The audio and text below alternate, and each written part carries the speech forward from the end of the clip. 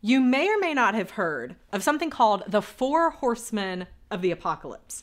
Now, if that sounds terrifying, that's because it is. Because actually, researcher John Gottman found that there are these things that people do when they fight with each other that he calls the four horsemen of the apocalypse and very research based. And what he found was if any of these four things show up, if any of these four behaviors show up when a couple disagrees with each other, then their chances of divorce are astronomical. And in fact, if a couple would stop doing these four things when they disagree, then their chance of divorce decreases by 85%. That is crazy and definitely something all of us should know because it matters for our relationships. Now, the four behaviors, I will tell you what they are in just a minute, and we're specifically going to be focusing on one of them today. But first, let me tell you about me.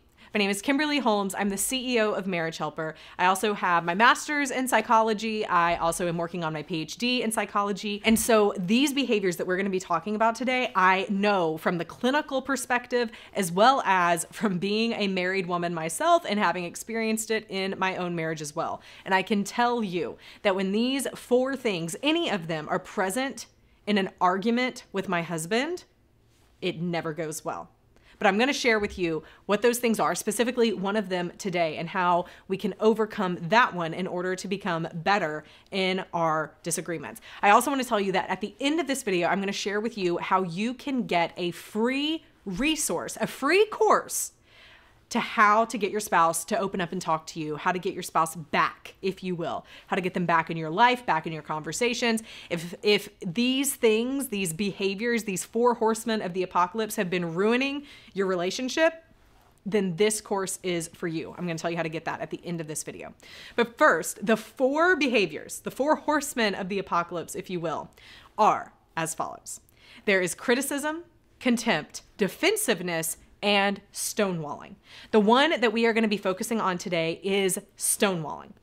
I was talking with a friend recently who was telling me about a disagreement that he and his wife were getting into about finances. And the disagreement was that one of them was wanting to put their finances towards one thing and the other was wanting to put finances towards another. A very common situation that marriages experience. There's always going to be some kind of disagreement or at least difference in opinion of where finances should go.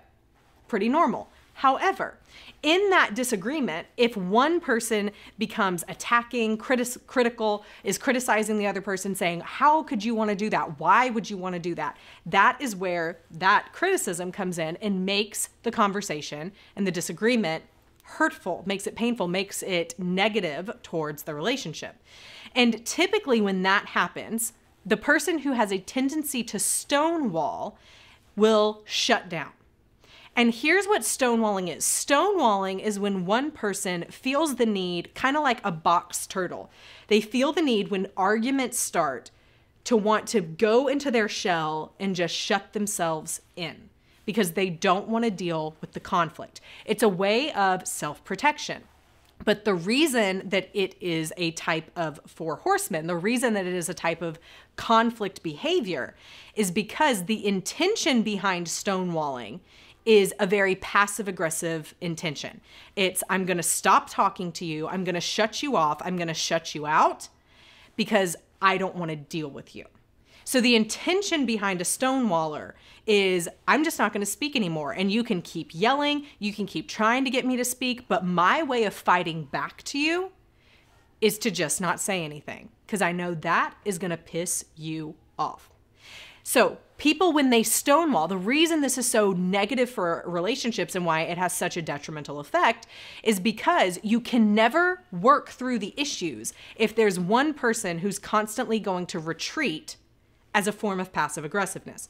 If there's a person who's constantly going to retreat as a way of saying, I'm just going to ignore you and you can try and figure this out yourself you can never actually come back together and compromise. And so the question that this friend asked me was So, how do I know if I was stonewalling or if I was actually processing? And the answer to that is they can look very similar. Because when a stonewaller starts to look inward and, and box themselves in, it's their way of trying to process, probably, but there's also this this very I'm going to protect myself and I'm I'm going to be passive aggressive about it. I'm going to do what I need to do and I don't care if you're angry at me right now. I don't care about coming back to the conversation because I don't want to fight with you. That is what stonewalling is. The way that you can overcome stonewalling is by asking for a pause in the conversation. So, if there is a person who's saying, Am I stonewalling or am I processing? If that's what you are wondering in this situation, then one thing you can begin doing is when that comes up, when you have that tendency to want to retreat and be to yourself, is to say in the conversation, I need to process this. So, will you allow me two hours, four hours, 24 hours, and we can come back to this topic tomorrow so I have time to process? Now, what should happen, the ideal situation here, is that the spouse, the other spouse, responds and gives that time.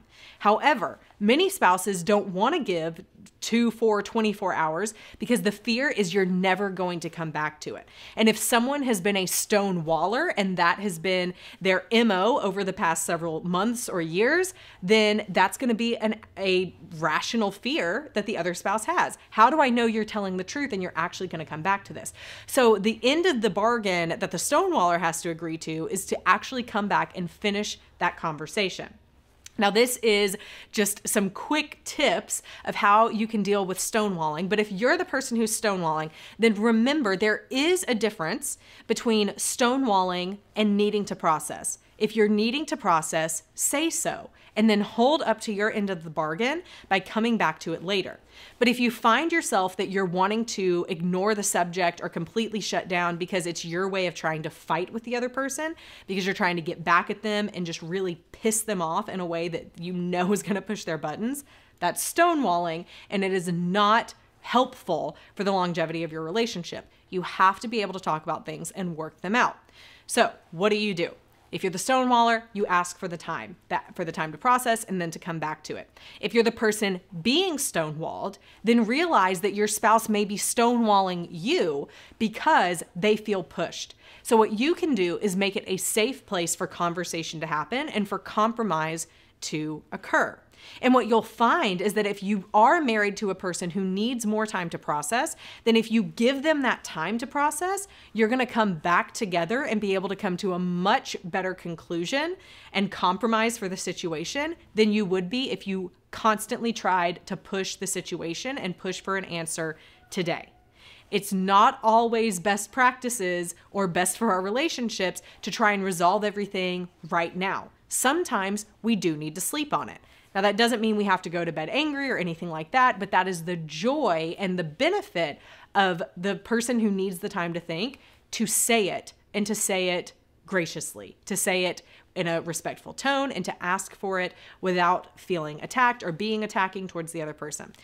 So, the bottom line is stonewalling is incredibly negative for relationships. Men do tend to have more of a tendency to stonewall than women, to just shut them out, to try and shut them up, that's what happens. We tend, people who stonewall do it because they feel attacked. So watch how you are presenting yourself in fights. Watch how you are coming across in the arguments that you have and try to be respectful. There is so much that goes into this.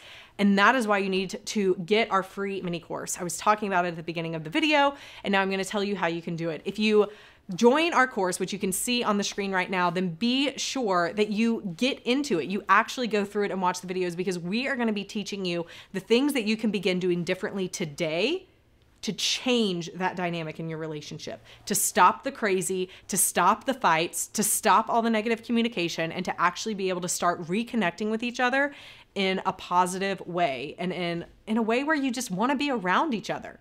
Wouldn't that be nice? We would love to help you. We would love to help you and your spouse learn how to talk to each other again and have a relationship that's better than ever before because that is why we exist at Marriage Helper. So be sure to join the course, go through the material, get involved, and start doing things differently to stop the stonewalling in your relationship and start having better conversations.